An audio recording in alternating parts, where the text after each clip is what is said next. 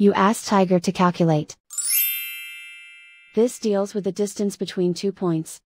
The distance between the two points is the square root of 125, or 11.18. Let's solve it step by step. Plot the two points and calculate the distance using the formula. The coordinates of point 1 are, x1 equals negative 6 and y1 equals negative 5. The coordinates of point 2 are, x2 equals 4 and y2 equals 0. d is the distance between the two points.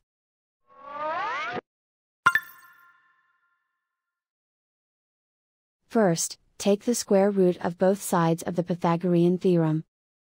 This gives us the distance formula.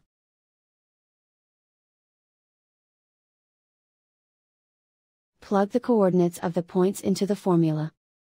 x1 equals negative 6.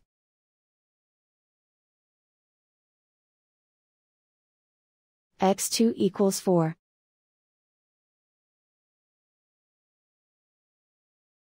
y1 equals negative 5.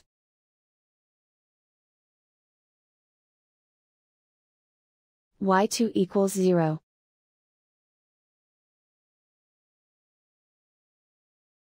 Calculate the expression inside the parentheses.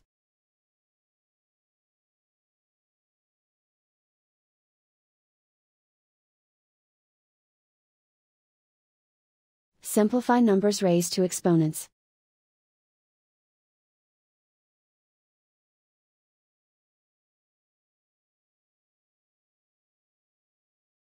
Simplify the arithmetic.